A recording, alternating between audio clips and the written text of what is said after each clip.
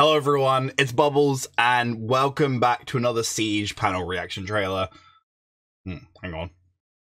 Strike that, reverse it. Welcome to another uh, Siege panel reaction. Uh, we're, we're reacting to the panel on the upcoming season for Siege. I believe that is going to be Year 9, Season 3. Um, we have a new operator coming, and it is about time I watch this, because I've been hearing rumors about a disabled operator, somebody who's in a wheelchair, which obviously that there's a lot of questions, especially because I'm imagining that they're going to be a defender, which means they're going to be on site. Um, so I'm very curious to see how this is going to work. Um, leave a like, leave a comment if you're also confused on how this is going to work.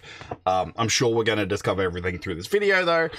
Um, but yeah, and I'm hoping this new season is going to be interesting. Um, I'll be honest, Siege has been bombing me out just a little bit recently. Um, probably more community problems than it is the gameplay itself. But yeah, I don't know. Just hoping for some good things. Um, but yeah, let's let's let's see what they've got for us.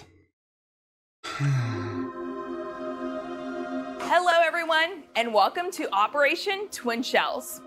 I'm Camille Salzar Hadaway, and it's time to hear straight from the developers themselves all about Year 9, Season 3 of Rainbow I don't know if it gets says, said enough, but Camille, you look fab.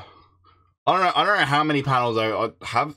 Has she been the, the head, like the the intro person for every panel we've done so far? I'm pretty sure she has. Maybe not the first one. I don't know. Point is, you're looking great, gal. Siege. This season brings an innovative new operator and a versatile new weapon. Let's kick it off with an overview of the season from creative director. New weapon. That's that's curious. I didn't know about this. I don't know a lot of things to be totally honest. I know that the just like to disclaim what I do know.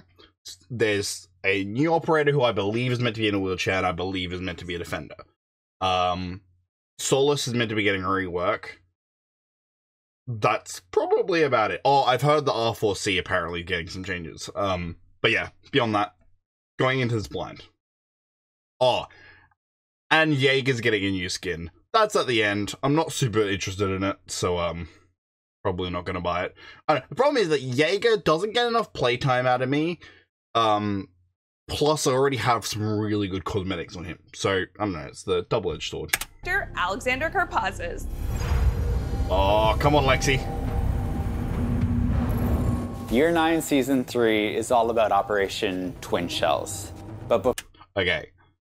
Just straight off the bat, I'm really happy that with the, the blowjob cam in the back. Now, if you don't get what I mean by that, that was one season where he just sat there and it was like, he was like man spreading and it was like the camera was just like down here, like near his legs, like as though we're, we're about to go in for some kind of porn scene. I don't know. just it was it was a weird camera angle, um, which made me giggle. But hey, whatever. Before we jump into that, it's really important that we acknowledge that well, I, we heard from you, and we haven't met the expectations that you had for Operation New Blood, and we want to reinforce that we are dedicated Hang to. on, what did you say? We heard from you, and we haven't met the expectations that you had for Operation New Blood. Yeah, okay. I, I I'm gonna address that because I see I see where some people have some complaints about it. So Operation New Blood obviously that came with the recruit rework. And the way they handled it was rather than keep them as recruit themselves, they're now two new characters called Striker and Sentry. They have the ability to run two secondary gadgets rather than running their primary. Uh, running running a primary gadget, which I actually think is a really cool thing, cool feature. But the problem is that there's just some elements that they feel like they add together really weirdly. I, I don't know. Maybe maybe some gut elements too, because they were very restrictive restrictive with the gun pool that you got for those characters, which would make sense if it was a normal operator, but because we're talking about recruit, I feel like there should be a little bit more flexibility. At the very least, attackers should have DMRs, defenders should have SMGs. Um, I don't know. There just needs to be a little bit more option. But yeah, I, I didn't mind it too much. I, I haven't mind recruit, um, striker or sentry. And we want to reinforce that we are dedicated to this game and that we are putting more resources than ever into it. And you'll start to see that with Operation Twin Shells. Operation Twin Shells is all about the new operator as well, Skopós. This is Curie Galanos, who's one of the original operators from Rainbow Six.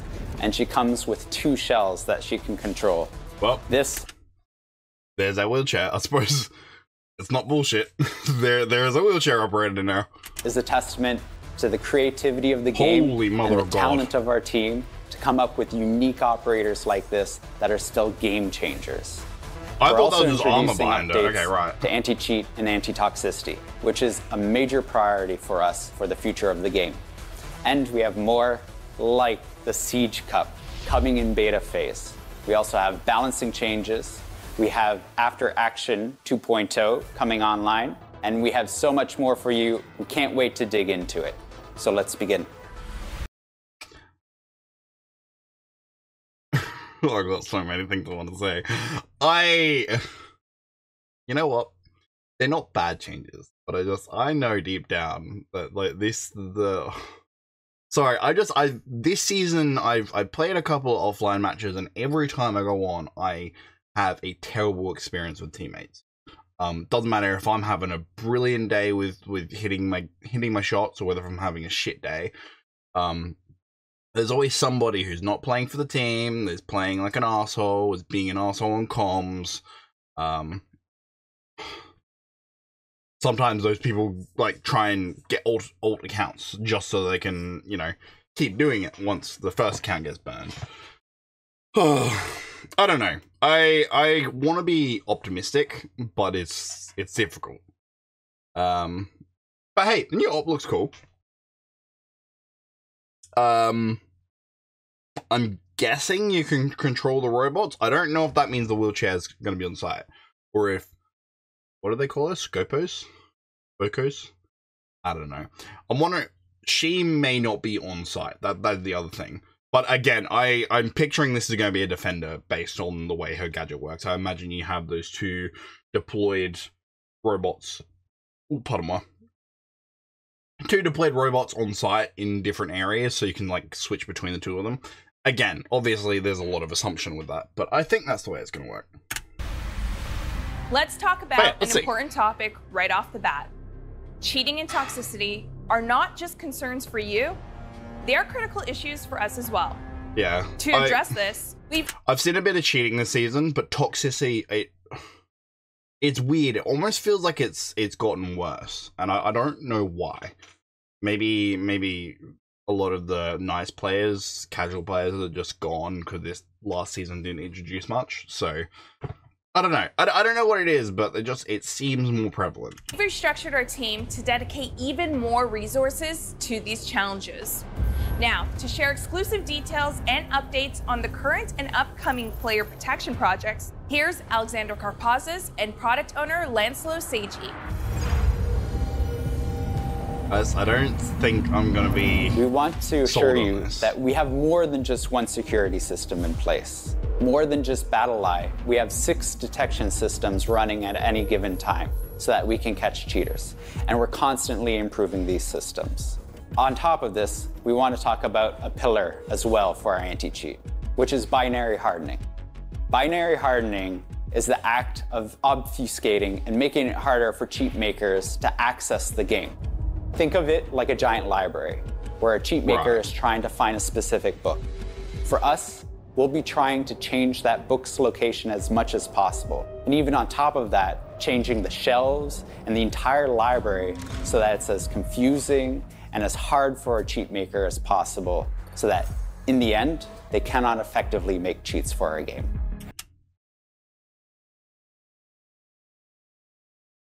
Am I imagining things or did, did what he say said not make any sense? Like I, I get the whole analogy of moving shit around, but what what is the thing that they're looking for in the first place? The the exploitable thing? Uh, are they just uh, are the code going to shuffle around? Yeah, is it like a server based thing? Like it's it's going to make it difficult to get into one thing because it's going to be bounced. I don't know. That didn't make any sense. I please comment if you understand what that meant because I didn't. Like I, I get some of it, but I, I just I think I get where he's trying to go with that, but I don't get how that is a thing. But yeah. When it comes to Siege Cup, for those that have won and have cheated, they will be banned. But of course, their teammates will have access revoked from Siege Cup as well, ensuring that competitive integrity remains in Siege. Another area of improvement Good. is time yeah. to ban. 75% of bans are happening 12 hours sooner now. And this is something that we'll be working on in the future to reduce that time as much as possible. Good. As you may have seen in our. I'm not going to say names, um, but there is one person who I am hoping got a fat fucking man because I just. I, I kept getting them in my matches one sesh. I was, I was, again, I it's it's what puts me off of streaming it because I I know any length of time or a few hours that I play Siege, all it's gonna take is just a couple of really shit sour teammates, um, to really ruin the experience. Um, so I've I've been doing a bit of offline stuff, just grinding here and there, just get some, try and get the battle pass stuff done. But there was one guy I just I swear like I, I'd wait to try and not get in his lobby and I'd still every single time wind up in his lobby with his mate. He his mate would TK me a lot and he just chalk massive shite. Um but yeah. I don't know. I just I, I'd like to think they got a ban. I'd like to think that they you know that there'd be sanctions against both players, but it, it's it's difficult like obviously i'm gonna have to see how this goes and i will try and stream before this season goes into play. I'll try and stream once this season goes into play. But i apologize that there hasn't been much gameplay on twitch on youtube recently uh, and that is the reason why is i'm just a little bummed out with the players i get in my seat matches. Um and if i can't if i can't play with friends, then that's kind of I'm rolling the dice with whoever I get. so yeah. August update for anti-cheat, the team has grown in size. It's now a multidisciplinary team that is actually one of the largest in-house anti-cheat teams in the world for any given project. And for us, that means we're totally dedicated to making sure that Siege is the best it can be when it comes to anti-cheat. In the anti-toxicity team, our mission is simple, ensuring a safe space for all players. Lancelot. That's a name. Lancelot. Like you. In Rainbow Six Siege. It means protecting the community from recurrent and highly toxic players Good. while rewarding recurrent positive behavior. Our mission includes handling features like reverse friendly fire, text censorship, reports, abandoned penalties, match cancellation, commendation system, and of course, the reputation system. Our philosophy centers around three key principles transparency, understandability, and clarity. In its current state, the reputation system has some weaknesses and is not trusted by the community. This is why we decided to overhaul it. It means reviewing its structure, the action that are feeding it, and the in-game UI. And to be clear, a single negative action will have a minimal impact on you. Only the recurrence of this action will affect your reputation. We aim to give you access to those changes in YANA in S4. The system will remain in beta. It means no impact on standing until we are 100% confident it meets your and our standards of transparency, understandability, and clarity. Additionally, we are still working on some very impactful features that we cannot wait to share with you by the end of the year. When you finish a match in Operation okay. Twin Shells, things are going to I'm glad to see there is work going on.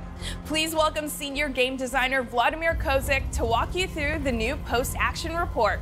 Plus, game director Joshua Mills is here to talk about boosting the abilities of your drones. I think I know what they're going to go for here. There's going to be some kind of because other games they'll be like, oh yeah, this person was the top fragger, this person was the the support player. This person did the most of this. Like, I'm scared though that what's gonna happen is if they do this wrong, it could be really sabotaging to players who don't perform so well. It can just be really I don't know. I- am hoping this is going to be mostly a positive thing where it really rewards everyone and makes everyone feel a bit better. In new season, we are introducing post-action report in a completely new dimension. Instead of operator cards, there will be a new screen with teammates represented as 3D operators located on the same map they just played. Here they can command teammates and opponents.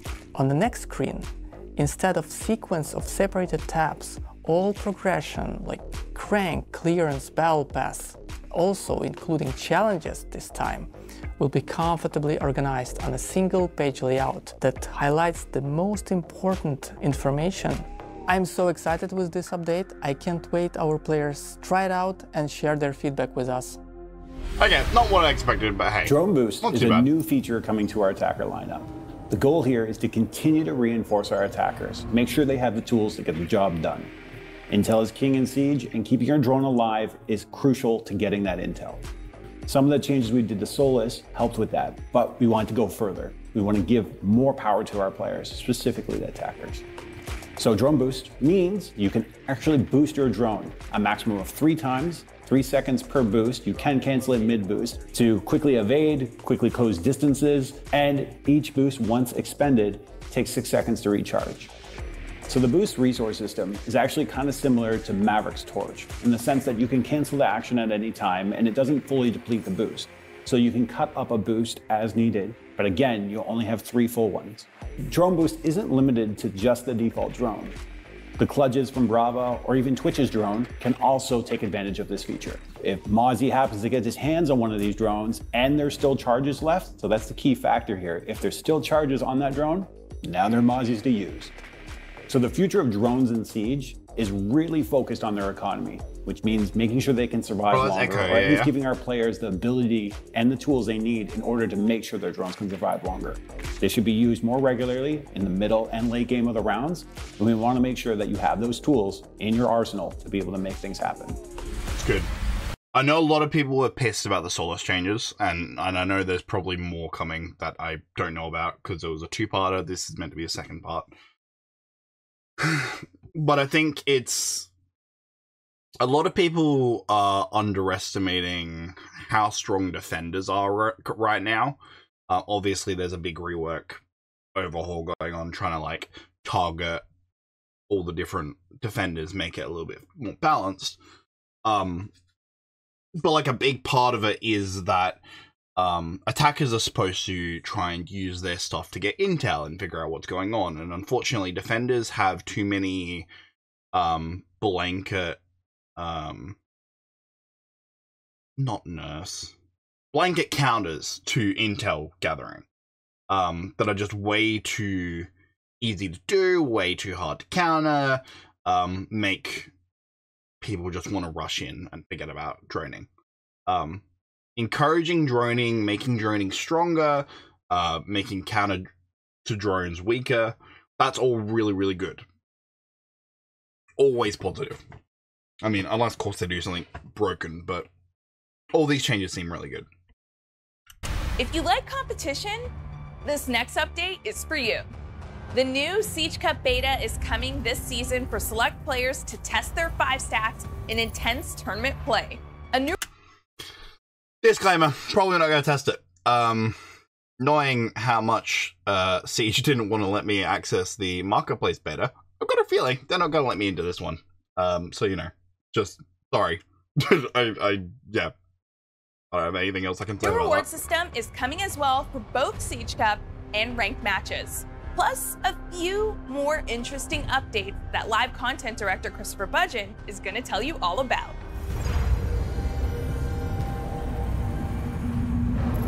In Year 9, Season 3, Operation Twin Shells, we're happy to announce the beta of Siege Cup. We made the decision to restrict Siege Cup beta to the PC platform because we can be much more reactive. If something happens with the Siege Cup, we can address it much faster than with other platforms. We really want to launch Siege Cup in its full form in Year 9 Season 4. Competitive integrity is imperative for Siege. That's why having a beta to make sure we can register the squads, formulate the brackets, distribute the reward. I was I was wondering how this was to differ to ranked. I I'm just I'm noticing here the way that like the maps are working, and I'm guessing it's very similar to how competitive like you do like a map ban phase where this team bans this one, this team bans this one, or at least that's how I would hope it works. Um, I don't know, maybe not. um, and then like I suppose you got like your different teams. Um, yeah, I don't know. This could be fun. Yeah. Data to make sure we can register the squads, formulate the brackets, distribute the rewards. We have to get it right. To register your team for the Siege Cup beta, follow the QR code or the link that you see on the screen. Just pausing it. If you want to scan it, do it now. And get ready for news about the first Siege Cup coming your way. With Siege Cup, you have to register as a five stack, meaning that you have to bring four of your friends, get ready to compete until the tournament is over. Once the Siege Cup starts, you're there committed to the Siege Cup to play until you get eliminated or, of course, win the tournament. We see the Siege Cup beta as our most competitive playlist, even more so than ranked, because the stakes are extremely high. The first Siege Cup will be near the beginning of Year 9 Season 3, and after the finish of the first tournament, we'll run another every two weeks for the remainder of Year 9 Season 3. In Year 9 Season 3, we're introducing a new currency called Competitive Coins. Competitive coins are exclusive to our competitive playlists, that being Ranked and Siege Cup. Get as far as you can within the ranks, as well as play as many Siege Cups as you can to get competitive coins to open these exclusive packs. In Year 9 hmm. Season 3, all console players will receive one free competitive pack. Move up the ranks, get as many competitive coins as you can, so you can continue to open packs in that collection. Starting in Year 9 Season 3, when you're waiting for your next match, whether it's in Ranked, Quick Match, or even the Siege Cup, you'll be able to enter the shooting range to stay warmed up, ready for your next match. Additionally, we've also added a cover feature within the aiming lane. Now you can have covers pop up from the ground, dummies will hide behind them and take position as you try to eliminate them as you warm up your aim. Both PC and console players will be able to enter the shooting range during matchmaking. That's 1v1s cool. have become more popular within Siege. I I never really use those sorts of features, but maybe it's something I should look into. Um, but oh my gosh, it, it is a great thing seeing that the devs have these thoughts on their mind. I don't know. Each. And that's why we've now added a 1v1 custom oh, preset oh in custom game. There are two presets for 1v1s in custom game, short and long.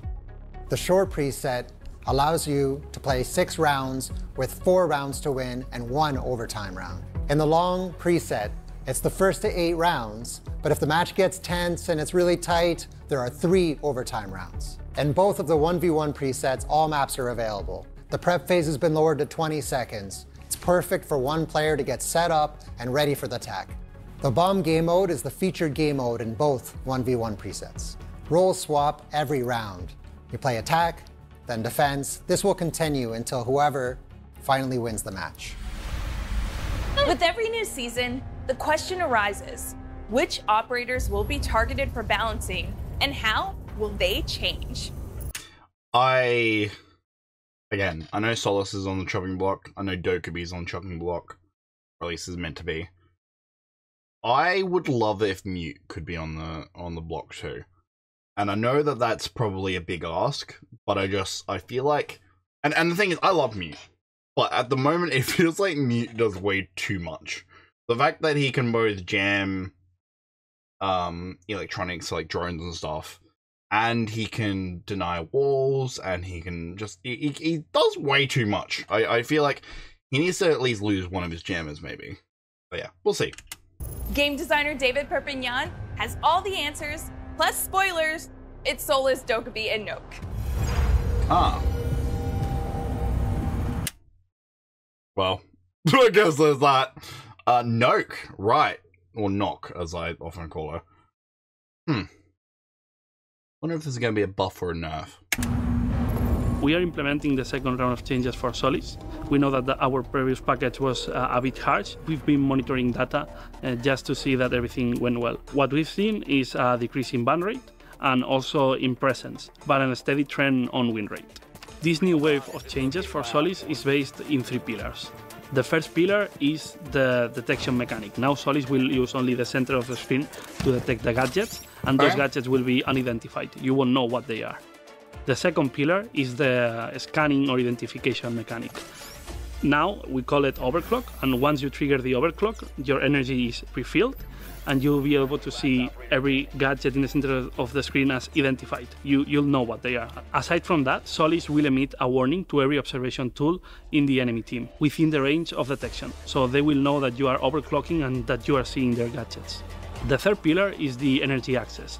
Now Solis SPEC-IO will last longer and will require less energy to be activated while reloading. Also, these new changes give us more balancing levers that will help us adjust Solis in the future. Yeah. Searching for. Oh, 100%. This is what I was thinking was going to happen with Solis all along. People were so scared that Solis was going to be nerfed and that the first stage of it was already too harsh and whatever else they were going to do was going to be way too much. This is always the way that they needed to handle Solis. Give it enough um difference from what it was originally, such that it is an ongoing process.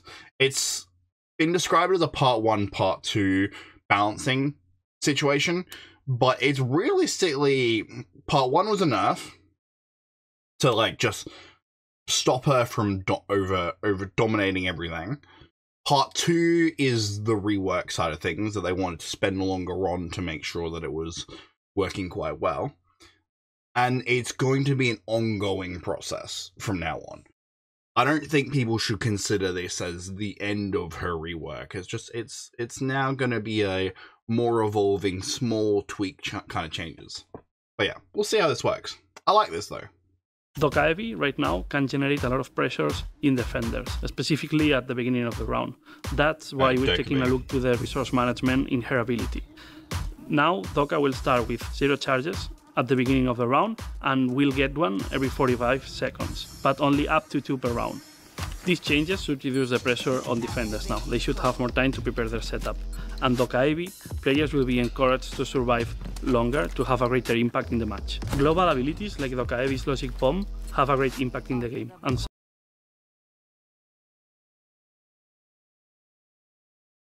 I I don't think this is a bad change. I just I considering they left Dokkaebi till season three, even though they they highlighted her as a problem in the year in, in the season one panel for this year, it just it feels like a very small change that probably could have been implemented a lot earlier. Um, whether or not they weren't even thinking about Dokkaebi at that point, and they were just mainly focused on Fenrir and and uh, Azami, that that could have been it. But I don't know. I just three seasons to come up with this seems like a very extended amount of time. But yeah, whatever. I like I like the idea of this. This this seems like a reasonably fair way to handle it. Sometimes with little effort from the players. We are aware of this and we will take a look at it in the future, being part of bigger changes for the game. Yeah. See you around. So Nøkk is receiving a buff we think that camera scrubbing and intel deception is how stealth should look in Rainbow, and that's what Nøkk does. The changes we are making are affecting how Nøkk's ability consumes energy. Instead of being time based, they will be action based. That means that some actions like walking won't consume any of your energy, but if you sprint or shoot, your energy will be consumed. These changes aim to make Nøkk more patient. We want Nøkk to be better at flank watching, cutting rotations, and increasing the uncertainty on defenders. We want them to ah. feel like there's a monster in the house. Nøkk and Smokes FMG9 is getting. oh my god, that was a. that. I'm not saying I've got good recoil control, but that was like a woo! Like did, did a complete like full circle around his head before shooting it. Getting above we are reviewing its recoil to make it more comfortable when you're shooting at longer distances, specifically when you're using Hang on, what are they doing? Are they to up? make it more comfortable. Nøkk and Smokes FMG9 is getting a buff. We are reviewing its recoil to make it more comfortable when you're shooting at longer distances, specifically when you're using magnified scopes. The objective of these changes is to improve the player perception and balance of those operators while keeping the frustrations away. There will be more changes in this season. For example, we are taking a look at the proximity alarm and its synergy with Sentry, and also at the delayed timer for explosions on the Claymore. A big update for Versus AI is coming in Opera. Delayed timer for Claymores? I don't, I don't really get that. I, I think the um the Sentry one is quite helpful. okay. We might have to play Nøkk a bit. I um I, I do like me some Nøkk. It's just I when it comes to me playing Siege, I tend to gravitate to characters who are supportive, who try and help like I I don't focus on being the main fragger so much as helping my fraggers get in there, know what's going on, getting rid of obstacles, letting teammates know about things they might not have realized. Um occasionally throw being a gridlock or a nomad or something to try and make site more workable for us or to make flanks a little bit harder to get. I don't know. Nøkk might be worth visiting and seeing what I can do with. Um so yeah, I don't know. We'll, we'll stencil that one in. Operation Twin Shells. As you'll now be able to play as a defender and face off against a squad of attacker bots. For more, here's AI programmer Ariel Moncha Delaire. I probably won't use this next bit, but uh, this Versus AI is a game mode designed for new players to provide them with a safe environment where they can learn and practice before their first ranked experience. In year 8, season 4, we introduced Versus AI for the first time. Since then, we keep adding more operators to play with and against, more supported maps, and we keep integrating more AI behaviors. This season will be significant. We're introducing Versus AI 2.0. Given that Siege is an asymmetrical game, we want to give the players the opportunity to play the other side. For the first time, players are going to be able to play the defenders against a full team of AI attackers. The AI attacker team will feature five operators Ash, Thatcher, Thermite, Nomad, and Sledge. As a defender, the player will be able to choose between 16 operators. Ash, Thatcher, Thermite, Nomad, Sledge. Right, so one one dealing with flanks and the rest of them pretty much are all breaches including the new one, Skopós. New players are going to have the opportunity to learn how to react to those attackers' behaviors, but it will also give them some ideas of how to play themselves when it's their turn to play the attackers. Both beginner and advanced game mode are going to offer the full match experience at launch. Similar to a casual game, the player is gonna enter as either a defender or an attacker against a full team of AIs. They're gonna play on one of our eight supported maps, and after two rounds, they're gonna switch sides. We've heard your feedback, and we want to make sure that Versus AI gives a real feel of what it's like to play Siege. Okay, here's a question for you. And, and th this is one I want to dedicate to the chat as well. Um, or comments or whatever would so firstly like this is more to ubisoft. Is the plans to eventually have it so that you get if a player disconnects from a lobby you get an ai replacing them? Until they can find a player to fit in if it's like casual or if it's ranked just uh, an ai to try and fill that gap. Um and secondly would you want that as players? Would you want to have a situation where you get a replacement teammate that's just AI, and uh, what would be your thoughts on that? I'd, I'd love to hear it in the chat because I, I, um, Dead by Daylight has recently been tinkering with a lot of stuff, and anyone who knows me knows that I'm primarily a Dead by Daylight player. So I don't know. I'd be curious to see because Siege is a lot more competitive, and I'm curious to see what people think about the idea of getting a teammate to try and even the odds? Because obviously they won't be perfect, but would that be preferable to going in without that teammate? I don't know. Let me know your thoughts. It's now time to talk about the new operator, okay. Skopós. This Greek defender this brings a new dimension of tactical possibilities to the fight through her twin shells, Talos and Colossus. For insight into the visual design of I this like operator, it. We'll hear from art director Joanna Sui, and for a breakdown of the new gameplay opportunities she offers, we'll go to game designer Justin Larange Alualia.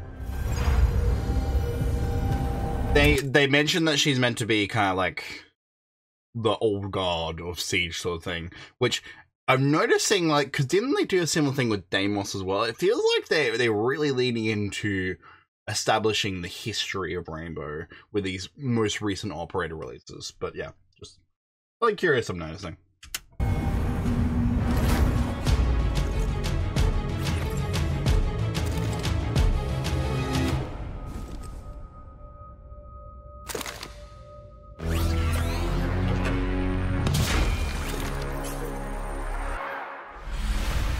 Skopós is from Ravenshield era, and her name is Coris uh, Galanos. Her visual uh, design is really based off. that just confused me so much. I I was waiting I was waiting for this girl um to explain to me what this new operator is gonna do, and just all of a sudden I've got this weird animation of this.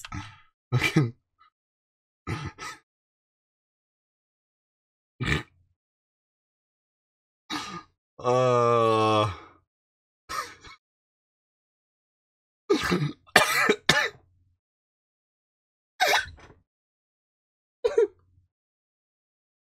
I don't even know why I find this so funny. Okay.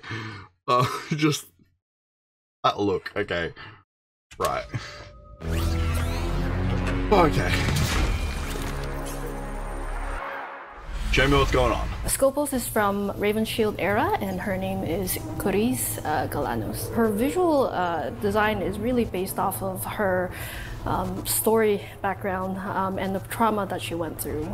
In the anime that was released from the year 9 season 1, in the mission uh, there was Daniel Bogard and uh, Jared Morris at that time trying to stop the bomb maker. In the end, you uh, see a giant explosion and it was actually exactly that moment where she stopped being able to walk. Ever since then, she's a wheelchair user. She's been in a relentless chase trying to seek prosecution to stop Deimos. All that toll took a effect on her face.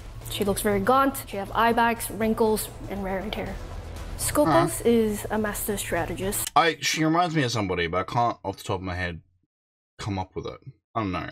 If, if you guys have got some comparisons, I'd love to hear them because she seems very familiar.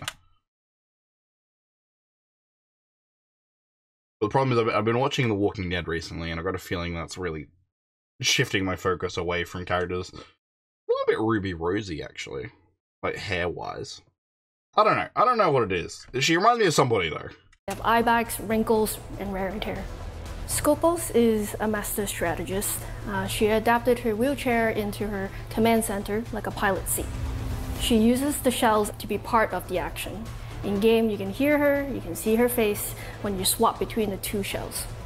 When we're designing her uh, wheelchair and the robots, we really had in mind to make sure that she feels very grounded. So we went uh, with analog, old technology look. We really want to establish the fact that it's not smart AI robots. They're not invincible. They can be destroyed. Uh, when she loses Talos, Colossus, she's losing a part of her again. So for the design of the robots, um, we wanted to differentiate the two so you can identify them easily on the field. The difference are in the antennas, the shoulder pads, and colors and patterns are distinct to one another. We made sure to have I am really curious to see how these customize. Have the analog look by physically having buttons that you can push. They're, they're wires that you can see and they're not touch screens, they're not holograms, they are something that you can touch and feel. Back when she was a field agent, Kyrie surveyed the area from afar as a sniper. Now, she still watches from a distance, but in a different way. Thanks to her new tech, Skopós is able to maintain a wide network of control unlike any other defender. That's because what Skopós brings to the field is not one, but two remotely controlled robotic operators. These shells, named hmm. Talos, but two unlike any other defender. That's because what's. So is she on the field? Is that her? I'm a little confused. I hang on. I, I, probably need to just watch. Skopós brings to the field is not one, but two remotely controlled robotic operators.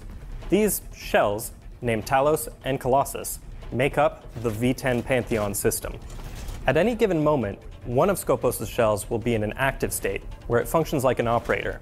while the other remains in an idle state. Oh, where it ah, so the, the, the view we were looking at before wasn't her, it was one of her bots. It's like a powerful piece of defensive utility. Skopos' control allows her to swap the states of these shells, quickly delivering offensive or defensive power where it's needed most. Skopos' active shell works much like any other operator. It can move, shoot, and use gadgets. It's also Skopos' primary lifeline. If a shell is destroyed while it's active, Kyurey's link is severed, and she's functionally dead for the rest of the round. Two bodies does not mean two lives. Meanwhile, Skopos' idle shell will take on a defensive posture, deploying an integrated shield that functions much like a deployable shield secondary gadget.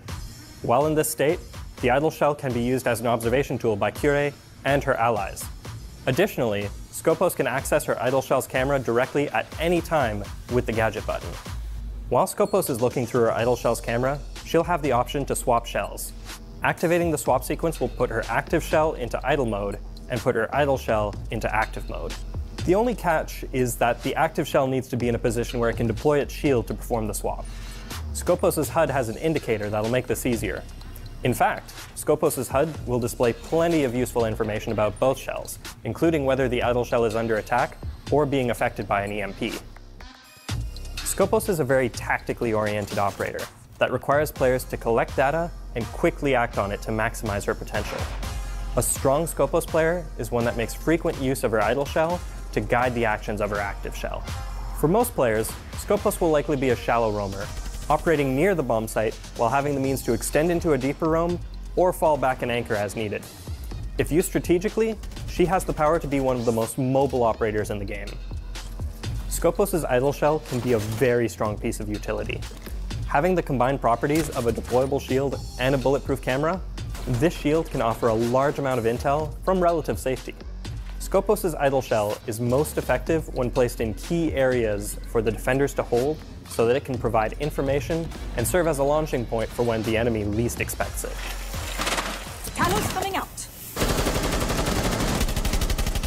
Skopos is bringing a brand new gun to Siege, the PCX-33 Assault I'm sorry. I'm I'm trying to digest all this. I love it. I love the idea of it, but I I'm I'm just okay. So it's not two lifelines. I'm tr- that's what I'm trying to get around.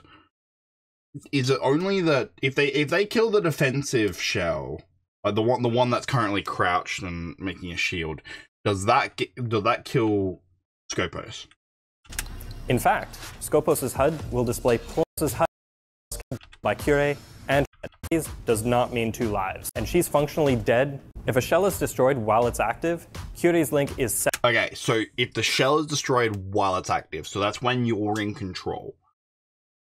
That is better. That's that's useful to know. So if you think that you're in a position where you're going to die, you can quickly shell up, switch over, uh, I'm wondering if they got individual health states. I'm like, uh, that that'd be something I'm very curious about. If like if I'm like one health as one of them, go into defensive mode, and then would the other mode have the same health or what? I don't know. That that would be something curious. Okay, I dig it. I dig it. Skopos is bringing a AR. brand new gun to Siege, the PCX-33 assault rifle.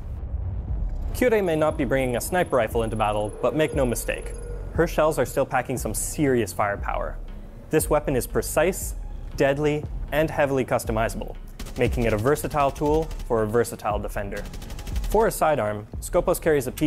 She doesn't have alternate options for the secondary or for the primary, by looks of things.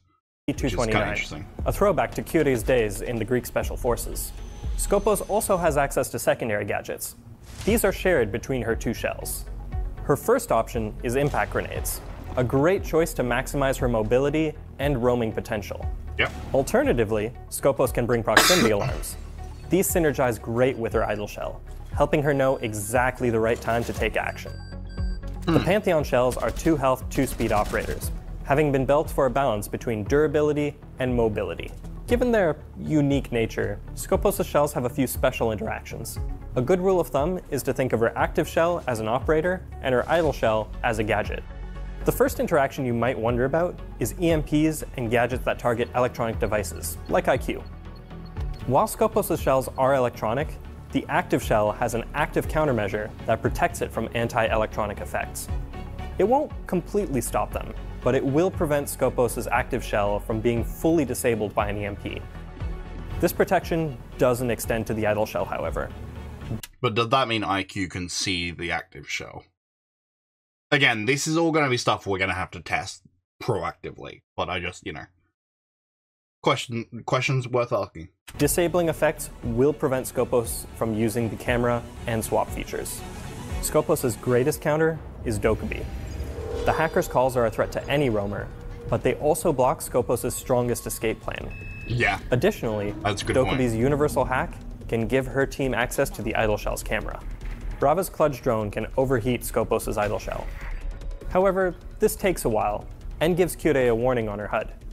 If she's fast enough, Skopos can swap to activate her countermeasures and prevent the overheat.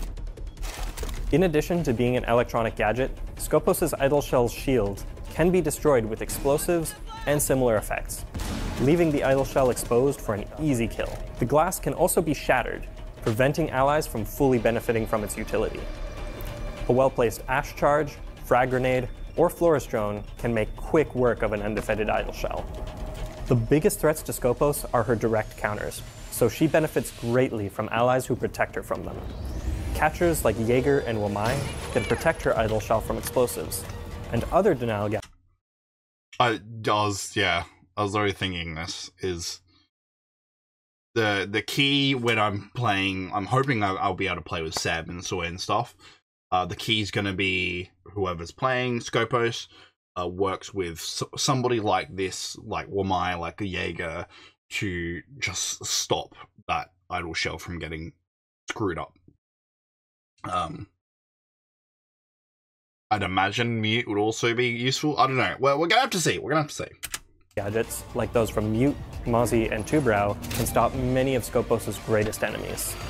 Being made of metal, Skopos' shells can't benefit from healing effects, he mentions Tubarão. Tubarão, the way Tubarão disables everyone's gadgets, so I'm curious if that's going to also disable. Know. This again, it's I keep saying these questions, but they're only going to get answered by playing and figuring it out.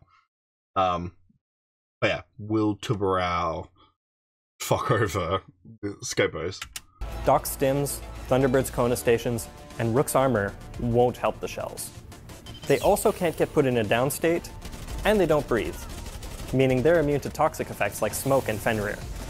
That last fact can open the floor to some aggressive combos. Uh, four eliminated. Another strong approach to Skopos is to double down on intel. Maestro, Valkyrie, and Echo can offer more insight into enemy positions and even provide some distractions. That can be more than enough to let Skopos get into position and go for the kill. Skopos is designed to embody the key aspects of being a defender gathering information, and swiftly responding to attacker strategies. Skopos brings a level of adaptability that, if left unchecked, can turn the tide on even the strongest of attacks. We'll be keeping a close eye on her in the test server and throughout the season to see what players can do with her. Loading new map. I know this is meant to be a reaction video and I'm just kind of sitting here not reacting, but I just like that is that might be the most complicated operator they've added so far. Um, God, that is that's a lot, but I love it. I I, I like when Siege goes really out there with these sorts of ideas. Um, and this is yeah, totally gonna make this season work. I I will be playing this season. I will be playing Skopos. Uh, I'm a bit jealous that she's not already properly in the game now. But it might even she might even be worth checking the test server. I don't know. We'll see about that. but yeah. Okay. I dig it.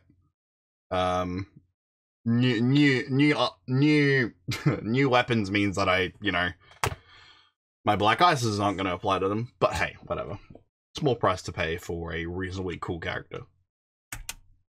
You won't see his face ever, but you'll probably recognize his voice, as he's a big part of the Siege community.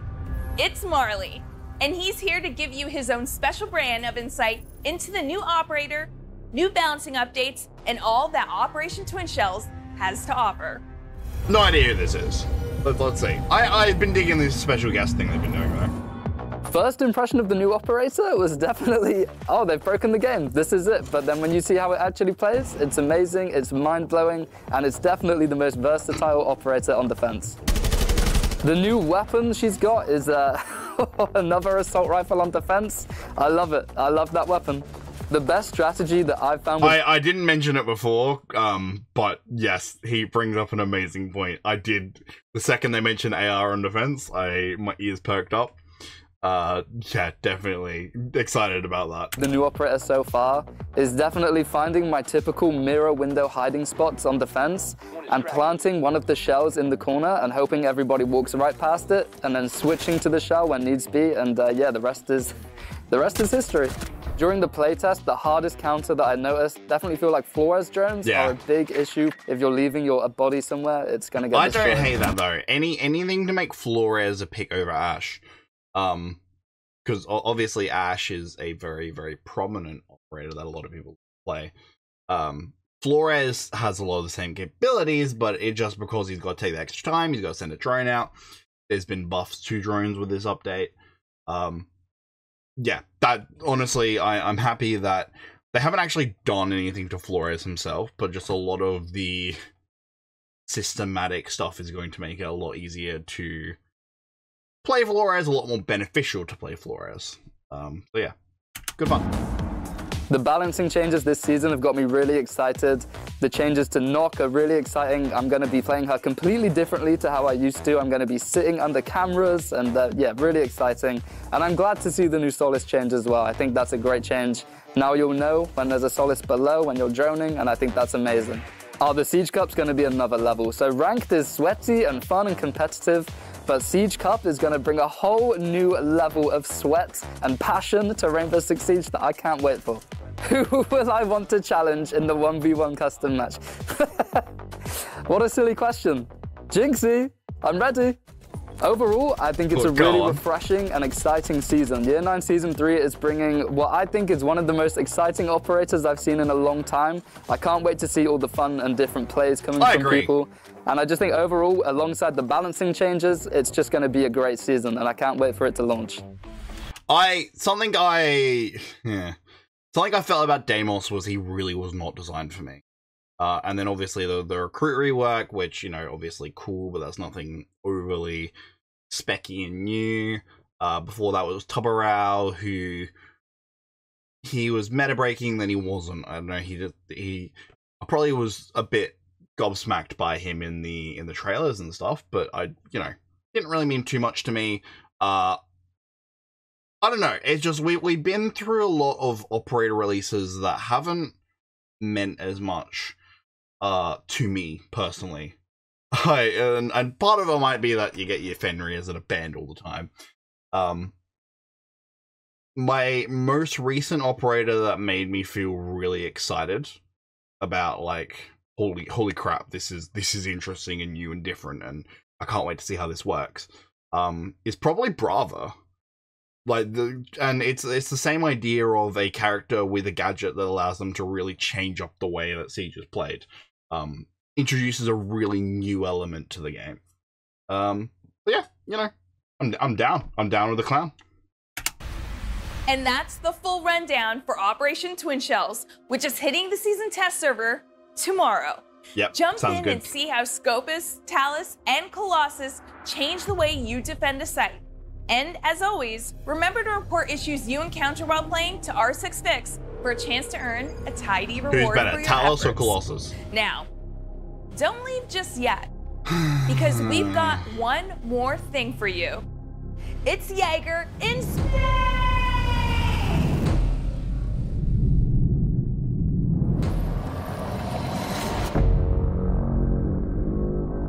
Can't wait for this music to get me copyright struck.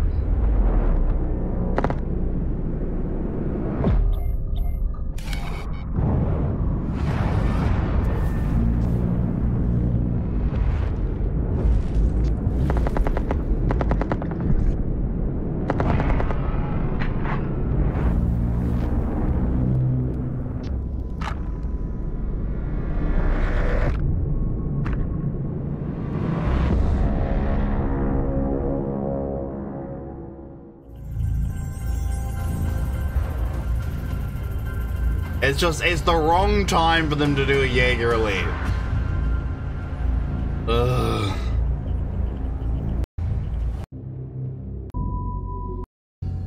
And nothing else we missed.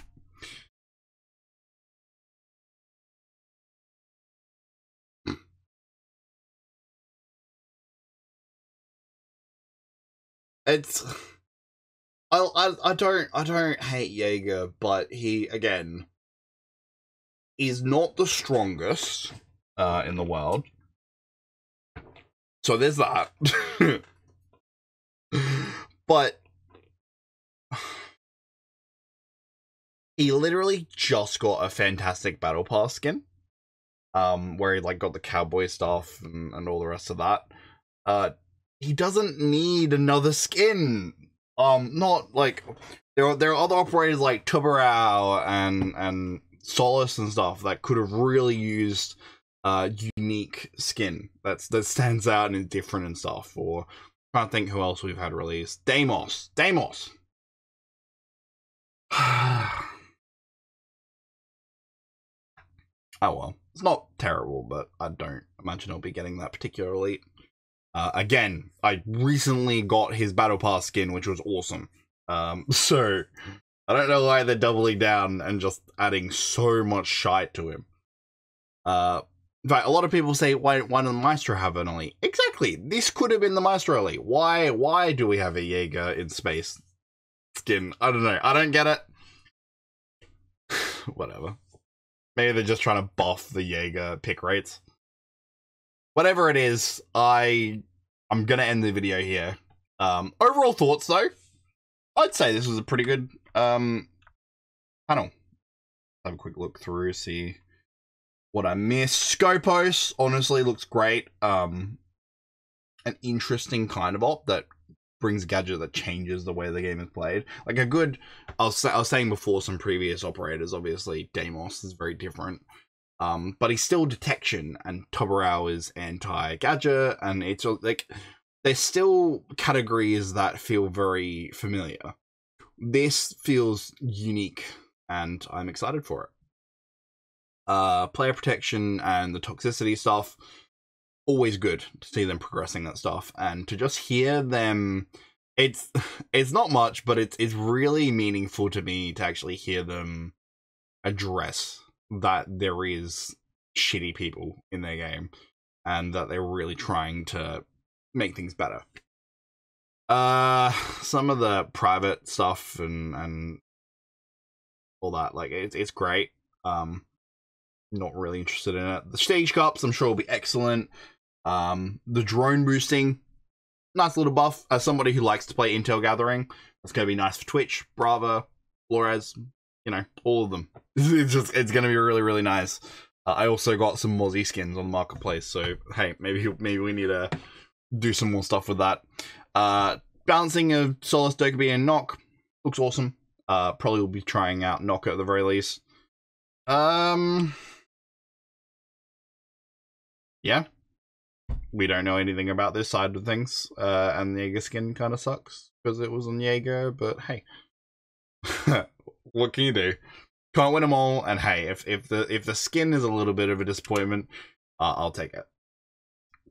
Um, but that was the panel, and I enjoyed it. Uh, once again, I think that the Siege devs and stuff put together a really good showcase of their ambitions, their direction, the content that they're currently adding, and then giving people a really good idea of what's to come. Um, obviously, we didn't get any roadmap stuff this particular time, um, but that's fine. I, I think this was a really good presentation, and I um yeah, I'm excited for the new season. Uh, and if you are too, let me know. Uh, anyway, I'm gonna end it here. So, see you guys later. Bye bye.